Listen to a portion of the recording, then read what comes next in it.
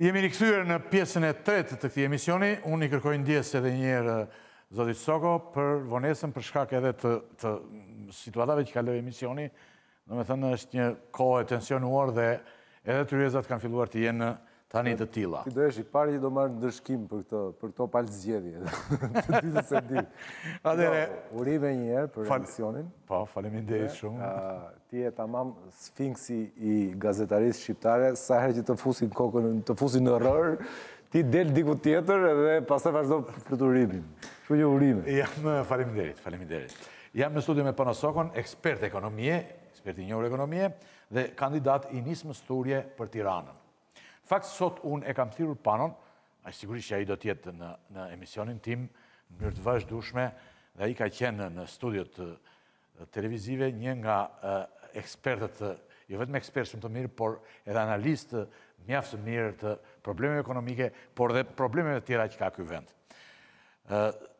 Soko, Sot ju do t'ju tregoni shqiptarëve, një problem që unë tani sapo hymë, se sa para ka gjetur dhe përfituar shteti shqiptar për të luftuar pandeminë dhe si i ka harxhuar ato, përgjatë më shumë se një viti apo jo? Po, sepse u nisa nga fakti që dëgjova kryeministrin që bëri gjithë atë rezyme për punën e menaxhimit dhe administrimit edhe ka filluar dhe le të themi që reklamon këtë faktin që është një administrues i mirë krizash. Tani, për ta parë se sa mirë administron kryeministri krizat, unë të thashë edhe do më japësh një, një çerek ore, një 10 minutësh, një çerek ore, për t'jau tregu shqiptarëve se çfarë do të thotë të administrosh një krizë dhe sa mirë administrohet kriza dhe si administrohet kriza dhe sa mirë e ka administruar ky kryeministër krizën. Për t'ia thënë shqiptarëve, për t'jau sjellë me shifra, më saktë, për të qenë të saktë me njëri-tjetrin dhe për ta vlerësuar ata vetë pastaj, sepse ata e kanë në dorë për ta vlerësuar të gjithë performancën, populli e ka në dorë, votuesi e ka në dorë. Kështu që do më japësh një dhjetë minutësh mua ti? Unë do të jap sa minuta të duash në dispozicion, ju ta shpjegoni këtë, domethënë, ne vijmë për herë të parë te pandemia, do të kemi më pas të gjitha, por ky është një problem Jashtëzakonisht i rëndësishëm sepse kemi parë shpenzimet që ka bërë bota. Ju bashkë me ndihmën e regjisë që do t'ju ndihmojë me. Po, e besoj shumë që çunat e regjisë të më ndihmojnë. Besoj që regjia do ta ndihmojë Panon me grafikët. Unë do të tërhiqem dhe do t'ju ndjek bashkë. Më prit aty, po, edhe do ta flasim pak më vonë. Bashkë me me shikuesin. Tani për të folur për çështjen e krizës, edhe unë këtë doja të ngrija pikë së pari është duhet kuptuar që në një situatë krize normalisht Shtetet ashtu sikundër edhe familjet kur ndodh një krizë, natyrisht janë detyruara që të marrin borxh.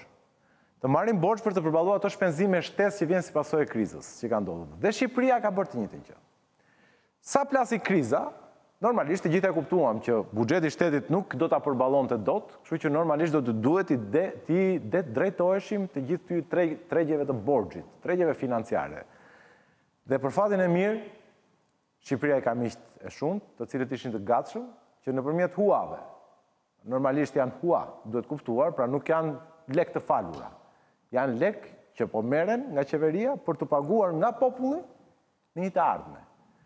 Gjithsesi, faleminderit edhe atyre që që i dhanë këto lekë, sepse mund edhe të mos gjenim lekë. Por, qeveria shqiptare për përballimin e situatës së pandemisë, së krijuar nga pandemia, vetëm për përballimin e situatës së pandemisë, ka marrë në vitin dy mijë e njëzet pesëqind e pesë milionë euro borxh.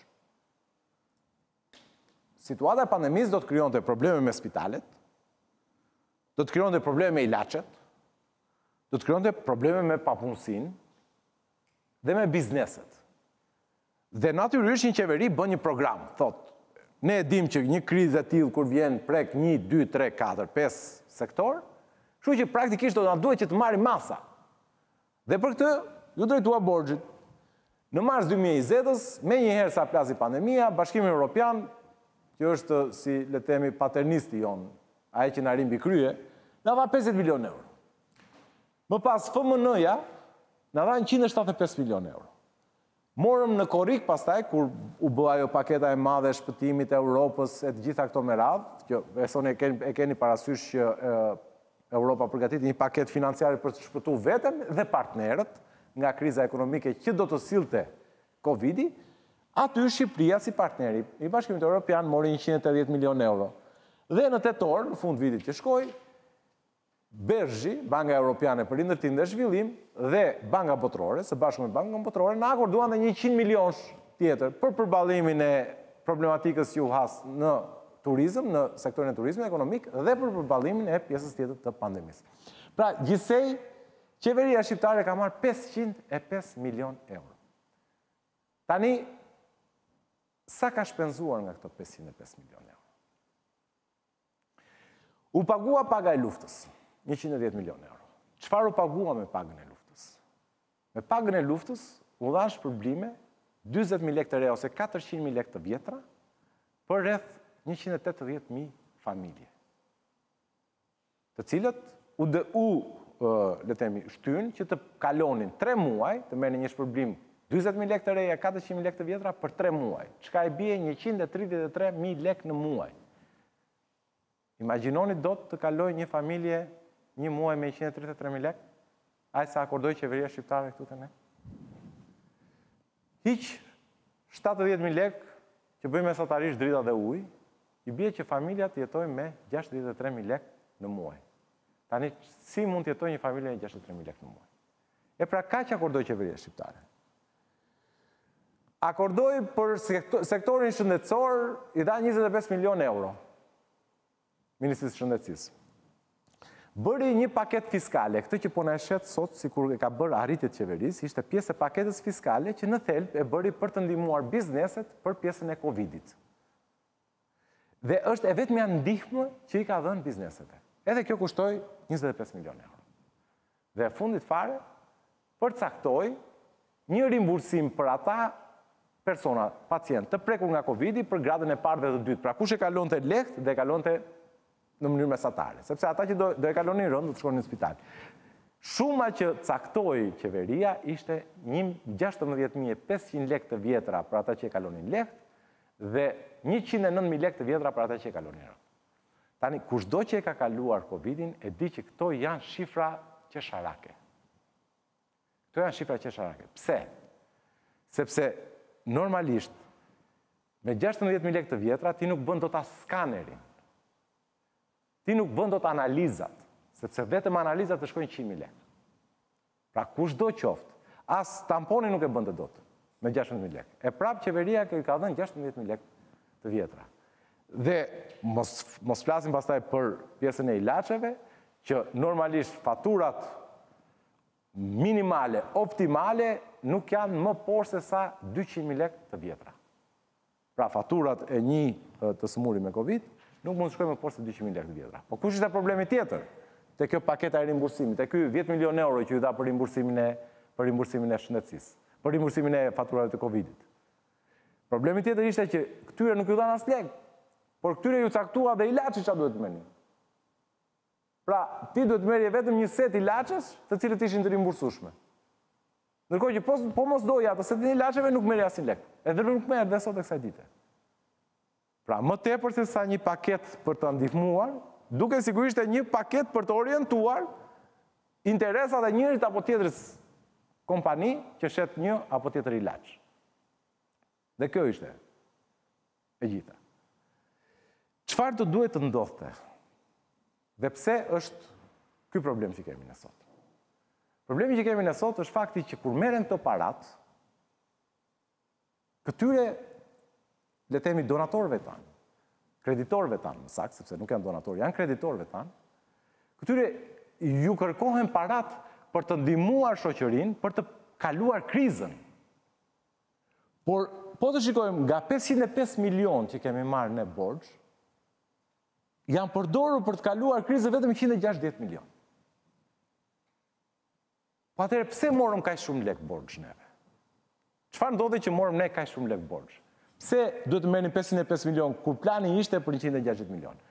Çfarë iu tha dhe çfarë duhej bërë me këto 505 milionësh? Ishte një plan komplet tjetër, i cili në fakt nuk u materializua asnjëherë. Të lutem slajdin tjetër, regjia. Dhe ky ishte problemi kryesor që bëri këtë shkëputjen mes realitetit që ndodhte dhe asaj që u pagua. Nëse do të ishte zbatuar Dhe këto lekë do të kishin shkuar për ata njerëz të cilët kishin nevojë dhe që ju lindi nevoja për shkak të krizës, pagat e luftës që dhamë neve, pra ai 400 mijë lekëshi për tre muaj, Shqipëria ki do të kishte mundësinë që t'ju jepte 400 mijë lekë në muaj për tre muaj. Pra 1 milion e 200 mijë lekë për tre muaj. E kishim mundësinë. Lekët i morëm. Për këtë punë i morëm. Pse që familja shqiptare mos ta ndjente ose ta ndjente sa më pak krizën, sepse ata njerëz që mbetën pa punë për shkak të krizës, nuk mbetën, nuk lanë rroga njëqind mijë lekëshe e qind e pesëdhjetë mijë lekëshe. Jo, ata bënin punë dhe merrnin pesëqind, gjashtëqind mijë lekë. Qeveria në raste të tilla e ka detyrim që t'i përafrohet sa më shumë Asaj që individi po humbet. Por dhe ne kishim këtë mundësi. Pra e kishim mundësi t'ju jepnim katërqind mijë lekë këtyre njerëzve me qëllim që ata mos ta ndjenin dhe familjet shqiptare do të arrinin ta superonin krizën më mirë, më fort. Qytetarët shqiptarë nuk do ta ndjenin kaq shumë krizën. Po tjetra. Të lutem regjia.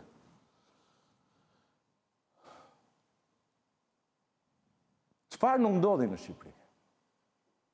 Në Shqipëri, ndryshe nga gjithë bota, nuk u akordua asnjë buxhet nga qeveria shqiptare për të ndihmuar bizneset. I kishim mundësitë. Lekët i kishim. Këto lekë që morëm borxh ne, i morëm pikërisht për këtë gjë. Për t'ju dhënë çdo biznesi, njëqind mijë bizneseve të vogla që u prekën nga kriza, kishim mundësi që t'ju jepnim ndihmë financiare. Pse e donin ndihmën financiare bizneset? Në kohën që qeveria e mbylli, le të themi, ekonominë, për një periudhë gati dy mujore, ato biznese kishin pasur kredi, Kishin pasur qeranë për të paguar, kanë paguar drita, kanë paguar ujë për atë kohë. Pra pavarësisht se ato kanë qenë të mbyllura, këto detyrime vazhdonin. Ai akti normativ që nxori qeveria që shtyu qiratë ishte pesë me hiç. Qeveria do duhej që të ndihmonte me para. Dhe normalisht paratë i kishte, se për këtë punë i mori. Që t'ju thoshte bizneseve, po, sa e ke ti atë qeranë për të paguar, sa e ke dritat, sa e ke ujin, e ke kaq. Po, urdhëro. Qeveria të ndihmon me me kaq lekë, pjesën tjetër mundohu ta gjesh vetë ose drejtohu te banka. Por kontribuon diçka. Dhe ne e kishim, kishim mundësinë që të paguanim 1000 1000 euro çdo biznes të të vogël që u prek nga kriza. Janë 100000 biznese që u prek nga kriza. Njëqind mijë biznese mund t'ju kishim dhënë nga një mijë euro dhe do të bënim njëqind milionë euro. Çfarë mund të bënim tjetër? Të lutem regjia. Këto paketat qesharake të të të të kompensimit të recetave të Covidit, ne mund të kishim kthyer në një shpërblim dinjitoz, në një kompensim dinjitoz. Sot aktualisht e dimë që faturat e Covidit Nuk janë më poshtë se sa njëzet mijë lekë, të reja. Mesatarisht janë diku tek njëzet e pesë mijë lekë, të reja. A kishim ne mundësi që t'i jepnim 200 euro, sepse aq janë njëzet e pesë mijë lekë të reja? 200 euro për çdo për çdo pacient i cili sëmurej nga Covid-i, i cili drejtohej farmacisë për ta përballuar vetë dhe për mos shkuar në spital? Patjetër, i kishim. E në qoftë se do t'i jepnim nga 200 euro, Dhe po imagjinojmë për një moment sikur sasia totale e të prekurve nga Covid-i do të shkonte dyqind mijë. Sot është diku tek rreth njëqind e njëzet mijë. E zëmë se deri në fund do shkojë dyqind mijë. Me dyqind euro që mund t'i kompensonim janë dyzet milionë euro. Dhe natyrisht do të jepnim një kompensim dinjitoz.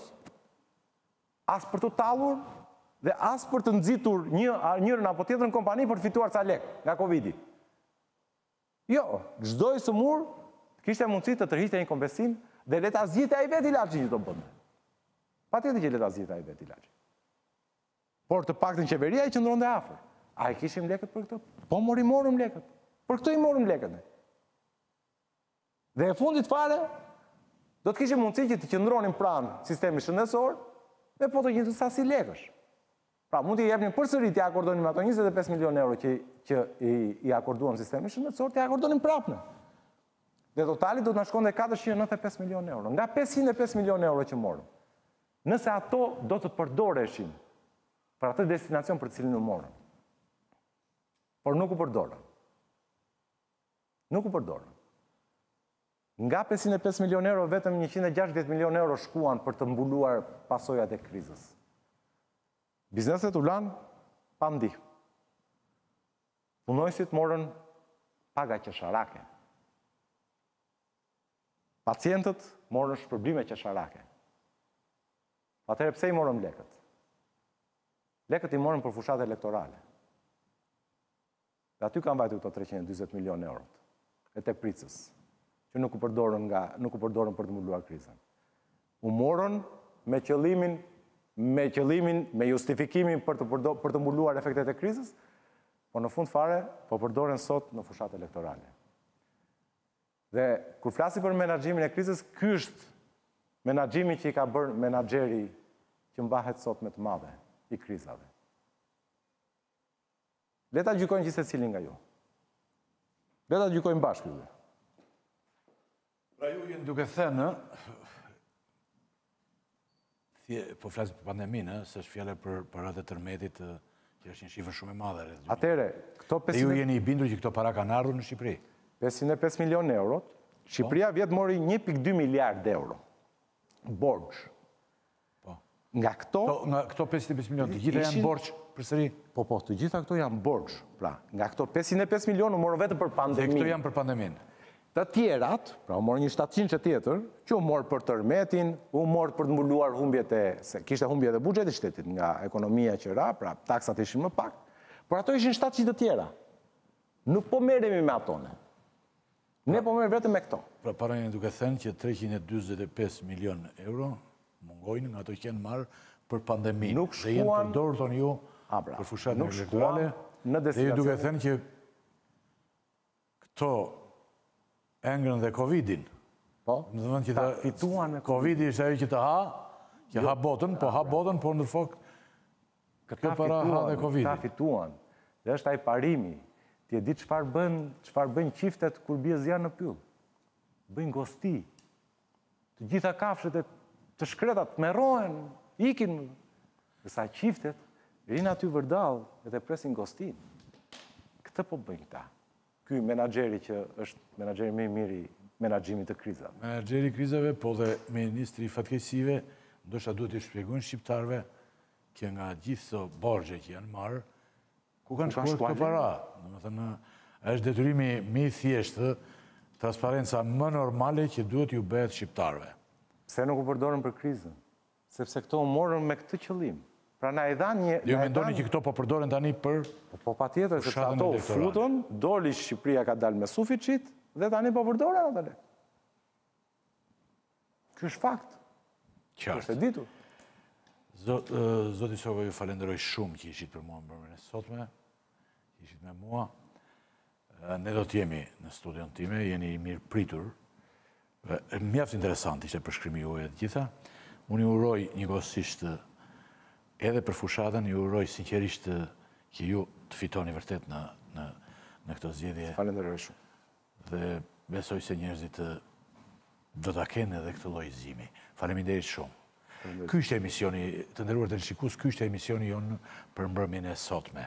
Ishte disi i gjatë, një emision maraton, i ndërtuar me tre pjesë, pjesa e fundit isha me zotin Soko, në pjesën e parë ju ndoqët krimin, bandat dhe fushata elektorale, por Pjesën e dytë, edhe kjo një pjesë mjaft e debatuar dhe mjaft e rëndësishme, me kolegët e mi që ishin dhe në pjesën e parë, ne diskutuam gjerësisht për mënyrën si po bëhet kjo fushatë elektorale, strategjitë që kanë zgjedhur, lidershipi kryesor, lidershipi Edi Rama, Lulzim Basha, por edhe figura të fuqishme që po shfaqen dhe ngrihen sot, siç është Erion Veliaj, apo diskutime për figurat e tjera që kanë qenë të pranishme në politikën shqiptare gjatë gjithë këtyre 30 vjetëve. Edhe njëherë ju falenderoj që na ndoqët të të nderuar teleshikues, emisioni do të ndiqet pas mesnate dhe nesër në orën 11. Faleminderit dhe natën e mirë. Edhe njëherë faleminderit.